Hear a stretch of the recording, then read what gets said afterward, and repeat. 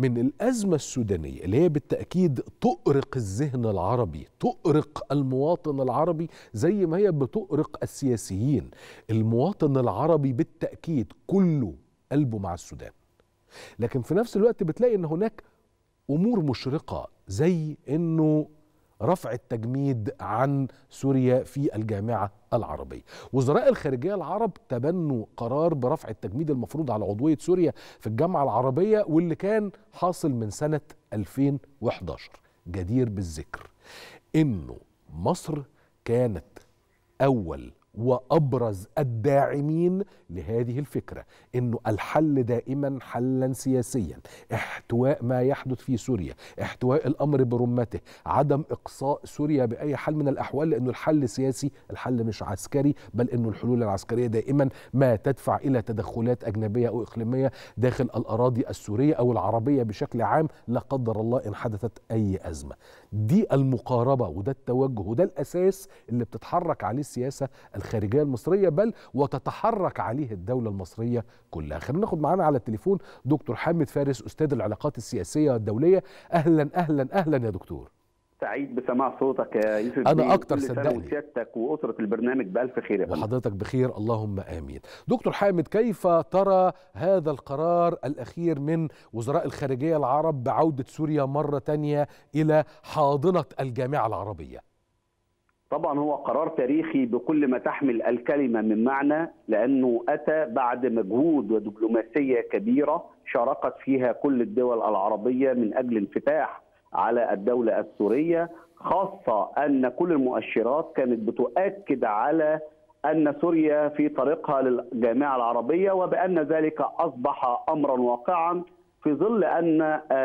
تجميد عضوية سوريا كان خطأ استراتيجي يعني وقعت فيه أغلبية الدول العربية وبالتالي كان لابد من تصحيح هذا الخطأ وعودة سوريا مرة أخرى في ظل أن أصبح وعي وإدراك الدول العربية لعودة سوريا إلى الجامعة العربية أصبح أمرا واقعا خاصة أن استبعادها واستمرار استبعادها لن يأتي بجديد، لن يحقق الهدف المراد منه وهو حل الأزمة السورية المتعاقبة في ظل أن الدولة المصرية دائما وابدا ومن خلال ثوابتها في سياستها الخارجية تعتمد دائما على سياسة متزنة، سياسة رشيدة، سياسة حكيمة قائمة على إيجاد حلول داخلية للأزمات العربية وده اللي شاهدناه في ثلاث مواقف متتالية سواء في الأزمة الليبية من خلال مبادرة القاهرة اللي تم الإعلان عنها في 6 6 2020 واللي أكدت الدولة المصرية من خلالها وفي أولى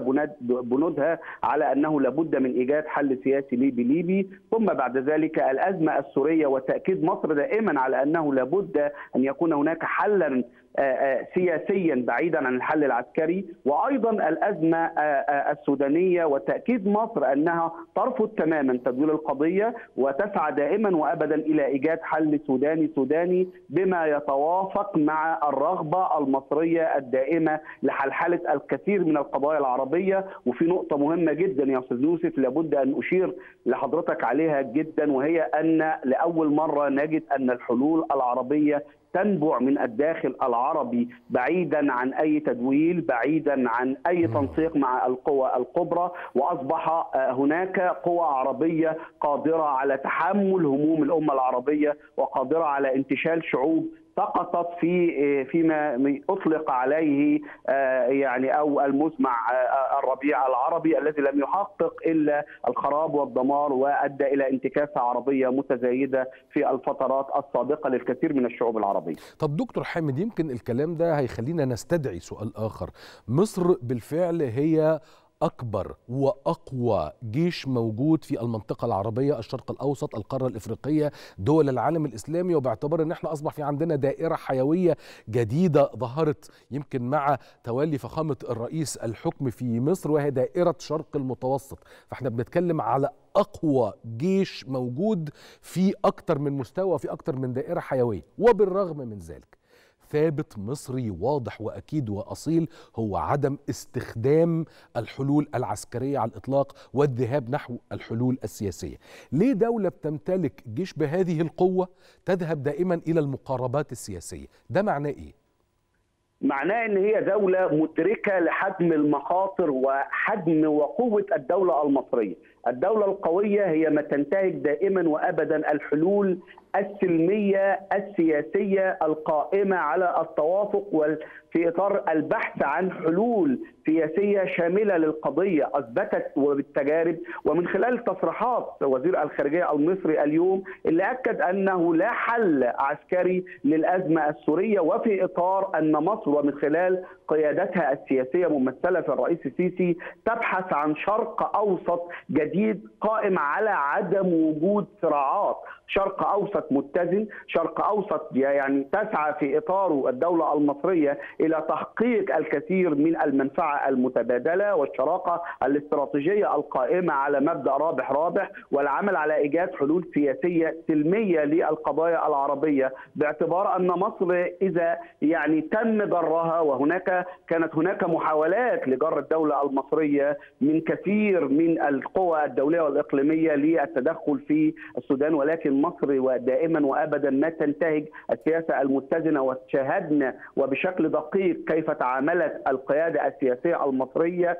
بحرص شديد في التعامل مع أزمة الجنود المصريين في إجلاء رعاياها في التعامل مع مقتل الملحق الإداري في السودان. ونجحت مصر في أن تستعيد دورها بشكل كبير في إطار حرصها على لعب دور متوازن في كافة القضايا العربية والإقليمية. وهذا يدل على أن القوي هو من يتمسك بالسلام، من يتمسك بتصفير المشاكل، من يسعى إلى إيجاد شرق أوسط بدون صراعات، هي سياسة متزنة للقيادة السياسية المصرية ولفخامه الرئيس السيسي تم ارسائها منذ العام 2014 والتسيير عليها الدولة المصرية وهو ما نجحت فيه الدولة المصرية في أن يكون هناك تجاذب كبير من قبل القوى الإقليمية لإقامة وعودة علاقتها مع الدولة المصرية مرة أخرى. وده إن دل على شيء يدل على نجاح السياسة الخارجية المصرية في كسب هذه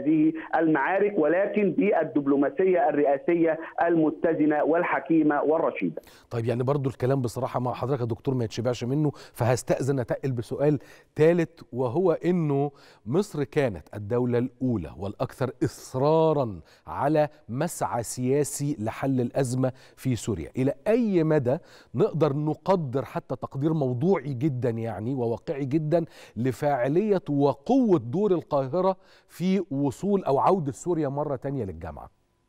مصر لم تترك اجتماع عربي أو إقليمي إلا وكانت داعمة للدولة السورية إلا وكانت داعمة لحقوق الشعب السوري لأن الدولة المصرية أدركت وبشكل كبير وبالأخص بعد دبلوماسية الزلزال التي وقعت في 6 فبراير الماضي وأسقطت الكثير من الضحايا وأصبح البعد الإنساني قوي جدا على نفوس كل العرب لأن لم تحتمل الدولة المصرية وقيادتها السياسية والشعب السوري يئن وبالتالي كان لابد من أن تتدخل لرفع المعاناة عن الشعب السوري، شاركت مصر في اجتماعات جدة وشاركت أيضا في اجتماعات عمان وأيضا لقاءات ثنائيه وانتقل وزير الخارجية المصري إلى قلب سوريا. وأيضا انتقلت المساعدات المصرية إلى شمال شرق سوريا كأول دولة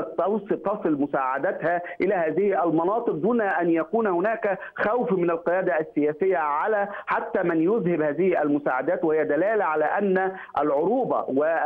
والشخصيه المصرية تظهر وقت الشدائد لدعم الأمة العربية ولدعم القضايا العربية ولن يتوقف يا أستاذ يوسف دور الدولة المصرية على عودة سوريا فقط للجامعه العربية. ولكن أمامنا مشوار طويل وهو ما أشار إليه فخامة الأمين العام للجامعه العربية اليوم من أن هذه هي البداية فقط. ولكن هناك قضايا ملحة. سوريا تحتاج إلى دعم سياسي تحتاج إلى دعم اقتصادي تحتاج إلى دعم أمني استخباراتي حقيقي وستعتمد أيضا على الدولة المصرية في إعادة الإعمار ومع الدول العربية في إطار أن مصر لعبت دورا محوريا وكانت همزة الوصل دائما وأبدا بين النظام وفي سوريا وما بين الكثير من الدول العربية لاذابه الجليد والعمل على ترطيب وتلطيف الأجواء في من خلال اتخاذ هذا القرار الذي هو يعد انتصار للدبلوماسية المصرية وانتصار للدبلوماسية العربية التي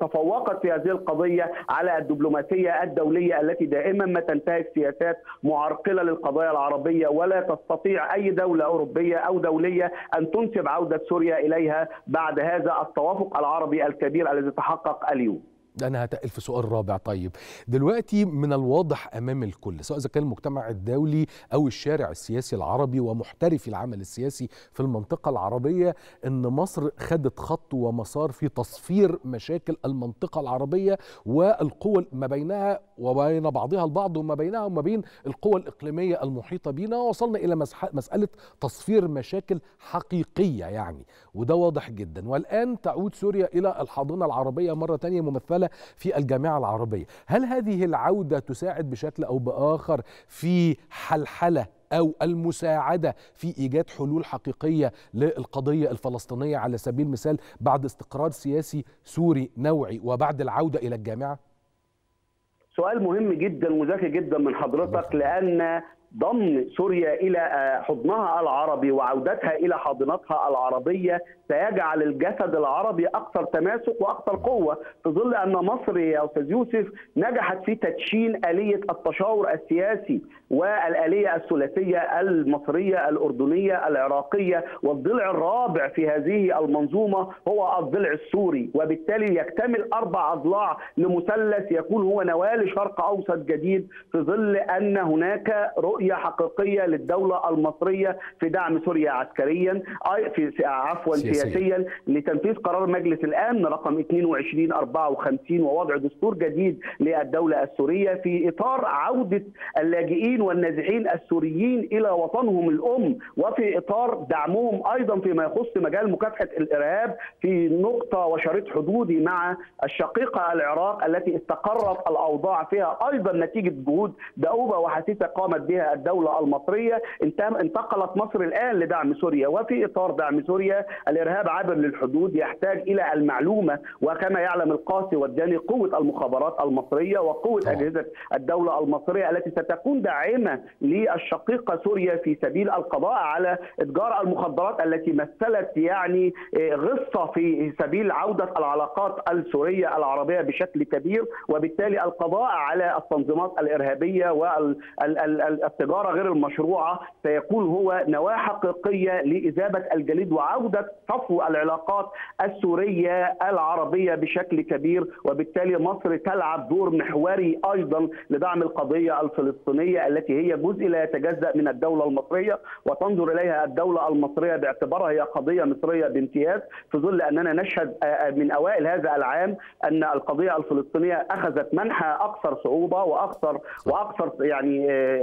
يعني وقوع خسائر في الشعب الفلسطيني وضحايا قتل وبالتالي تلجأ الدولة المصرية في إطار سعيها مع من إطار تشكيل تحالف عربي حقيقي تسعى من خلاله العمل على الضغط على إسرائيل لأن من الممكن جدا الضغط على إسرائيل بإرادة عربية بعيدا عن المجتمع الدولي لأن ما حدث اليوم من الممكن جدا أن يكون ينطبق على القضية الفلسطينية ويتم العودة مرة أخرى لمائدة المفاوضات المتوقفة مع الجانب الإسرائيلي منذ العام 2014 في إطار أن مصر على عاتقها دائما وابدا القضية الفلسطينية باعتبارها هي القضية الأم والقضية المركزية للأمة العربية. أنا بشكرك جدا جدا جدا يا دكتور إلى أن نلتقي قريبا يا رب إن شاء الله كل الشكر دكتور حامد فارس أستاذ العلاقات السياسية والدولية.